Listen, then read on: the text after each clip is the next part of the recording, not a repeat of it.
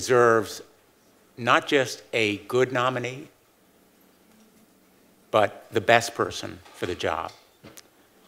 And the person that we saw come before us yesterday was filled with such rancor and animus, such anger, that I cannot accept that he would be an impartial and objective justice on the United States Supreme Court.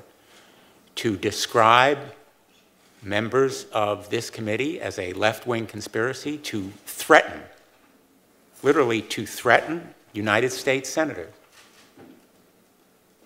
I simply cannot accept.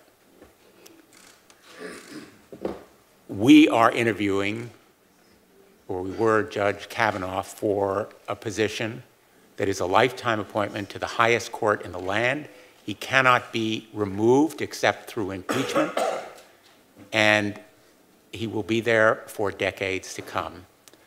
I made no secret of my opposition to him based on his out of the mainstream views and judicial philosophy, his apparent goal to chip away, if not overturn Roe v. Wade and the guarantees that allow women to decide when and whether they become pregnant and have children, the decision by millions of Americans to marry the person they love, consumer rights, workers' rights, the powers of the president, which I think would become an imperial presidency if he becomes a justice on the Supreme Court. But yesterday, my opposition solidified because of temperament and fitness, which I believe he lacks.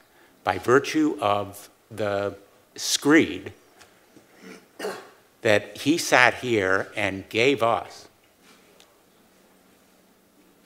his views still are disqualifying for me, but his character and fitness ought to be a reason for everyone to vote no.